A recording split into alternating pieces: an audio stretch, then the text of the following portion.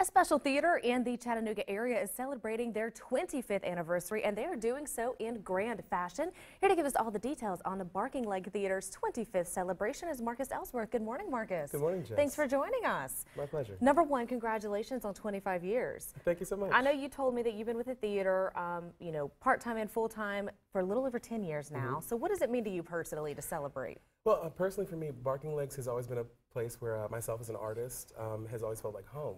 Um, it's a place where we can experiment and collaborate. Um, I feel more connected to the creative community here in Chattanooga because of Barking Legs. And uh, then last year I came on full time as staff, and that's been great because it's given me an opportunity to work more closely with some of the most talented folks in Chattanooga. So there's a lot of theaters in Chattanooga. What makes Barking Legs unique, other than the legacy, of course?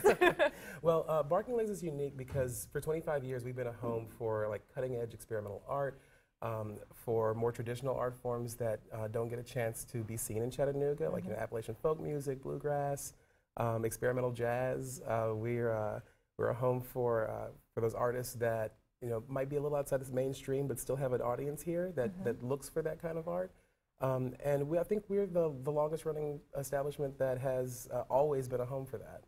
So you're wrapping up the 2018 season. As you Mm-hmm. look back, what were some of the most memorable moments? Oh, let's see. Um, we had Willie Watson from Old Crow Medicine Show came and performed. That was Oh, great. wow, um, sold out the theater, and um, it was really nice because because we're a smaller place, he got a chance to like meet the audience, and that Mm-hmm. was really fun watching people um, get to engage with him directly. Um, we had um, we, we put, one of our partners is Comap. Um, they put on like classical music performances. Uh, Bryony Stroud Watson runs that, Mm-hmm. and she's put on some amazing shows. In fact, we have one coming up next week uh, with uh, Ben Van Winkle.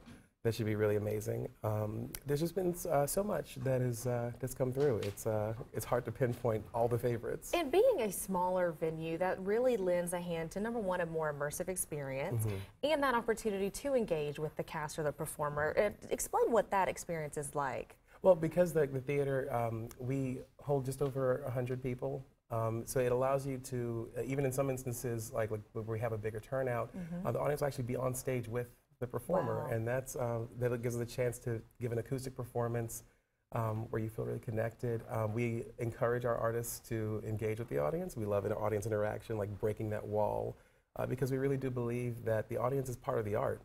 Um, and then our lobby that we have is great for folks to mingle afterwards. Um, it's a great place to really get to know um, our regular patrons and, and even the performers that come through. So, speaking of mingling and getting to know the artists that perform, your 25th celebration is no different. So, Mm. to give us some of the details on what we can expect. Okay, so um, we are celebrating our 25th anniversary, which is the silver anniversary, and we got to brainstorming about that, and we landed on we thought uh, Ann Law, the founder, uh, she thought of uh, silver stockings, the you know reference to Cole Porter. So with that, we're taking the songbook of Cole Porter and we are deconstructing it and reimagining it.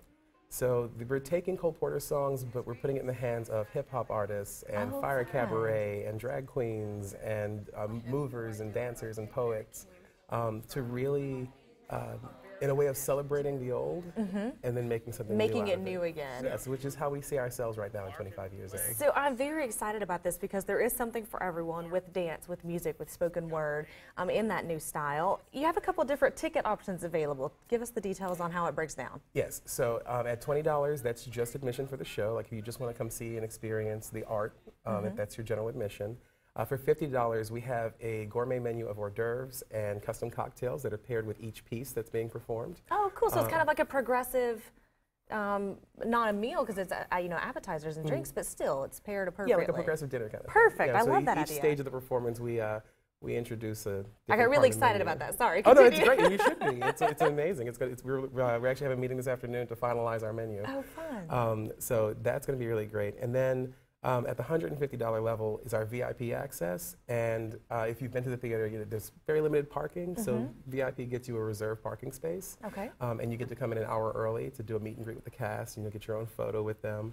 Um, you also get um, a bottle of wine from the cellar of Bruce Kaplan, who's one of the Oh, founders of cool. our theater, and who really knows his wine. If anybody who knows Bruce out there, um, it's a it's a really my favorite part. And do the VIPs also, um, of course, get to participate in the appetizers and beverages Yes. with each course? Yes. All right, and, perfect. and then they also get a table that's like right in front of the stage, so they Oh, get the best seats in the house too. The best seats in the house, best parking, best seats, best drinks. VIP, you know. You can't, that's the way to go all the way. right, give them the full experience. All right, so where do we need to go to purchase our tickets? Uh, you can go to barkinglegs.org, and uh, when you go to our website, it's on the calendar on the sidebar. It's the, the banner. It's the first slide at the top.